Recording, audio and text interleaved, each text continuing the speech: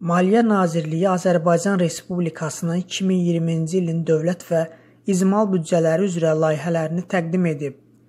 2020-ci il və orta müddətli dövrdə Respublikanın milli iqtisadiyyat və iqtisadiyyatın başlıca sektorları üzrə strateji yol xəritələrindən irəli gələn vəzifələrin icrası prioritet olacaq.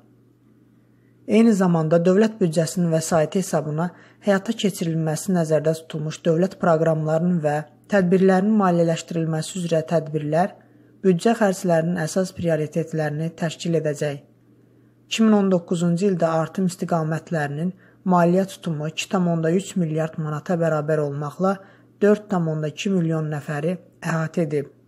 Layihədə göstərilib ki, sosial yönlü siyasətin prioritetliyi 2020-ci ildə saxlanılmaqla bəzi sahələr üzrə əmək haqqlarının artırılması nəzərdə tutulur. 2019-cu ildə tətbiq olunmuş və 2020-ci ildə proqnozlaşdırılan artımlar üçün növbəti ilin dövlət və icmal büdcələrində cəmi olaraq 4 milyard manatadək əlavə vəsait nəzərdə tutulub.